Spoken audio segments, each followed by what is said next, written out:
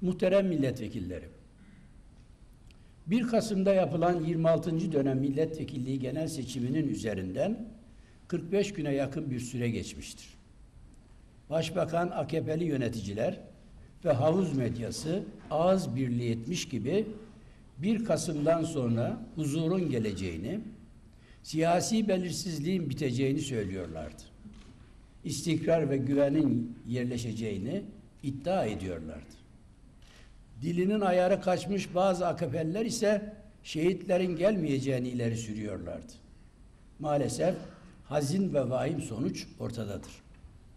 1 Kasım'dan bu yana 14 polisimiz, 15 Mehmet'imiz şehit edilmiştir. 20 Temmuz'dan bu tarafa kabaran bilanço ise korkunç boyutlara ulaşmıştır. Şu vereceğim rakamlara çok dikkat etmenizi istiyorum.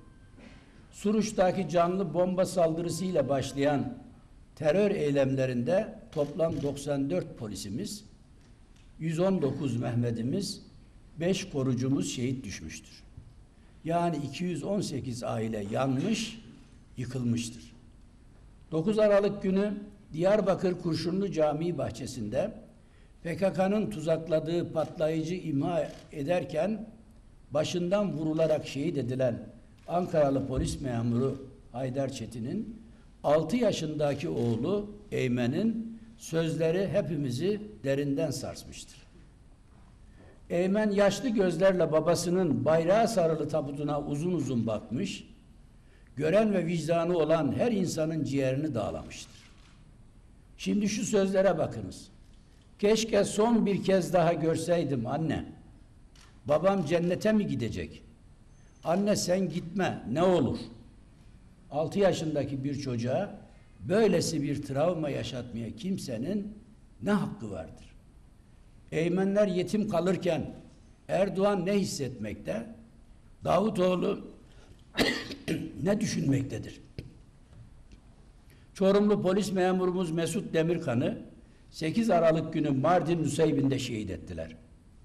Muhterem annesi o benim tek yavrumdu diye feryat edip iki gözü iki çeşme ağıt yakarken 1 Kasım'dan sonra şehit gelmeyecek diyen soytarılar nereye sinmiş? Biz gelmezsek böyle beyaz toroslar gelir diyen şuursuzlar nereye kaçmıştır? 5 Aralık'ta Şırnak Cizre'de şehit edilen Osmaniyeli Assubay Mehmet Burak Demirci'nin muhterem eşi Hümeyra Demirci'nin eşinin tabutuna sarılıp kuzum seni çok seviyorum bizi bırakıp nereye gidiyorsun yakarışı kurşun gibidir. 1 Kasım'la beraber milletin reformdan ve güvenlikten yana güçlü bir tavır koyduğunu söyleyenler dilinizi yutmadıysanız açık açık konuşunuz. Dökülen şehit kanlarının vebali kimlerin omuzlarındadır? Küçük yaşta babasız kalan yavruların sorumluluğunu kimler nasıl üstlenecektir? Sayın Erdoğan evladının İstanbul'da beş adet restoran açması ile ilgili itiraflarını gıda sektöründe küçük çaplı işler diyerek savunmayı biliyorsun da bu milletin tertemiz çocuklarının yarınsız kalmasını ne hakla mesele etmiyorsun?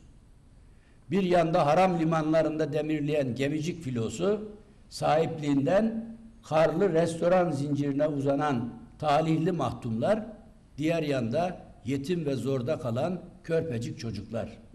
İşte Türkiye'nin çelişkisi bu kadar güm yüzünde Türk milletinin dramı bu kadar meydandadır. Var olan günden güne yoğunlaşan, gittikçe çetrefileşen ve anormal boyutlara ulaşan haksızlığın, eşitsizliğin, adaletsizliğin üzerine üzerine gitmeden ülke olarak belimizi doğrultmamız hayaldir.